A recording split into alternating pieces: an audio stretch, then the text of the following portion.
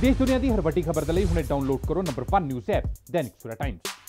ਇਸ ਵੇਲੇ ਦੀ ਵੱਡੀ ਖਬਰ, ਲੁਧਿਆਣਾ ਈਸਟ ਦੇ ਕਾਂਗਰਸੀ ਵਿਧਾਇਕ ਸੰਜੇ ਤਲਵਾੜ ਦੀ ਪਤਨੀ ਮੀਨੂ ਤਲਵਾੜ ਦਾ ਅੱਜ ਦੇਹਾਂਤ ਹੋ ਗਿਆ ਹੈ।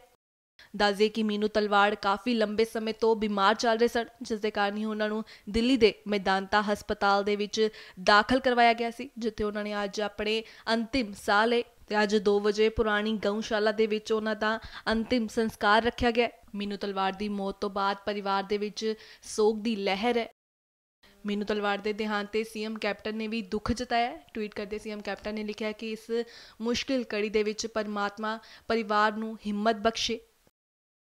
ਲੁਧਿਆਣਾ ਤੋਂ ਵਿਵੇਕ ਢਾਲ ਦੀ report Dainik Savera TV. All world open challenge 17 time gold medalist Mian Rafiq Mohammad पंडित मौलवी बेगम तांत्रिक इन चोरा ठगा तो सावधान स्पेशलिस्ट वशीकरण सट्टा नंबर लव मैरिज पति पत्नी च अनबन विदेश च पक्का होना कारोबार दा ना चलना सिर्फ़ 31 ਘੰਟਿਆਂ ਵਿੱਚ ਸਮਾਧਾਨ free free free Mian Rafiq Muhammad mobile 8434494647 84374 94648